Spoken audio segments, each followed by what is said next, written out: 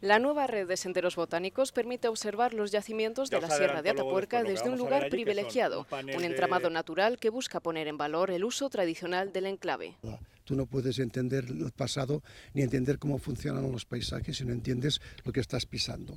En esta última fase se han instalado una escalera de acceso, varias mesas de información sobre la geología y la evolución del paisaje y se han señalizado varios puntos de interés.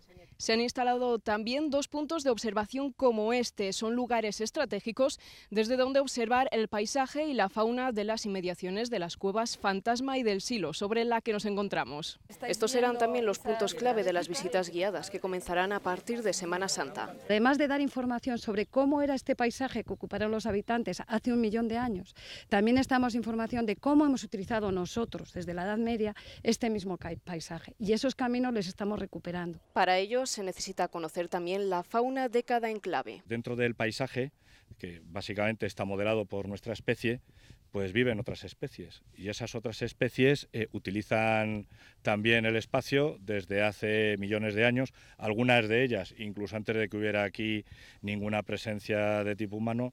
Por delante, tres años para conectar este sector con los yacimientos que se encuentran en proceso de excavación.